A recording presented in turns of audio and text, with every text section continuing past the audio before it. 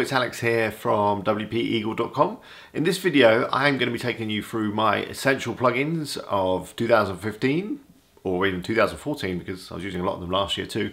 And these are plugins that I install on most WordPresses that I set up and uh, I just can't live without them. So let's get started and I'll take you through them. Okay, so number one is the excellent Gravity Forms. This is a premium plugin and I use this pretty much on every website that I set up using WordPress. It's forms basically in a nutshell, but it's forms with a lot of features and a lot of flexibility. The forms are just so easy to set up. Um, you may have used CForms, which is the free plugin. It's way easier to use than that and it's far more powerful. You can have things like multi-page forms. It's got loads of anti-spam on it. It keeps all the entries in the back end so that you can access them if you lose the emails. Uh, you can have as many forms as you want. Uh, it's really easy to style. And the list goes on in terms of why I recommend uh, Gravity Forms. I've got a few videos on Gravity Forms on the channel if you want to find out how to get more out of it. But yeah, number one plugin uh, recommendation is Gravity Forms for all your contact forms and things like that.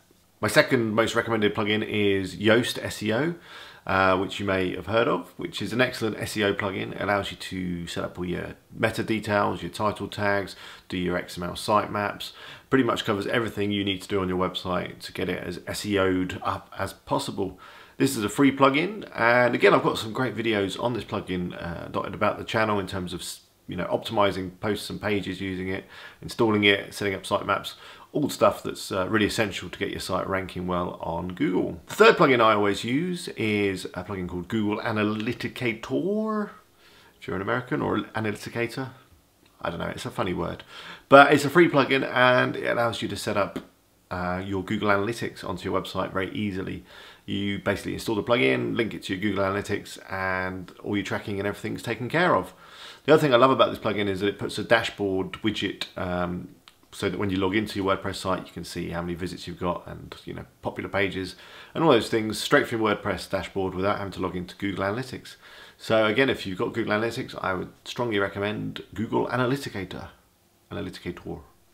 The fourth plugin I really love is called WooCommerce, which is a free plugin and turns your WordPress website into an e-commerce platform, allowing you to sell things, take credit cards, PayPal, all those kind of things. It's a fully functional uh, shopping cart system allows you to add lots of products, categories, use coupon codes, and it's got a whole load of extra extensions that are available that add um, extra functionality. For example, booking for events, um, postage slips, packing slips, lots and lots of payment gateways, pretty much anything you can think of. Um, and anything you want to sell, you probably will be able to using WooCommerce. So go check it out if you haven't already.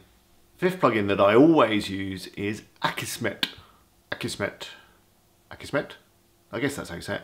It's an anti-spam plugin and it's free and you need to go and sign up for an account but and get an API key. And once you've done that, it will automatically filter out all those horrible comments that you get that are all spammy. Um, you'll notice that when you install WordPress, you start to get these comments quite quickly. People trying to sell Viagra and all sorts of interesting things by posting weird comments onto your blog. Uh, Akismet filters through them all, as say, automatically using server information and it's pretty good in terms of its accuracy. It filters pretty much 99% of all the spammy, horrible comments you're going to get. So why wouldn't you use it? Sixth plugin I'm going to recommend is uh, called Social Sharing Buttons. I think it's called something like that. Easy Social Share. I can't quite remember, but I'll put it on the screen now so that you can see what it is.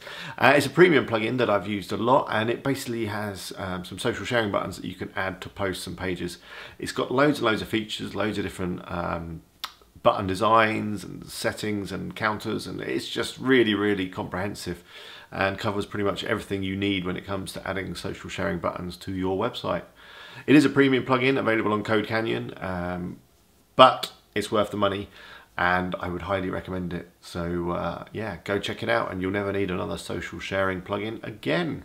So that concludes this uh, video on my favourite plugins of 2015 well, for now, we're only in March, so uh, there may be another video on my favourite plugins when new ones come out or I discover something that's even better than what I've already said.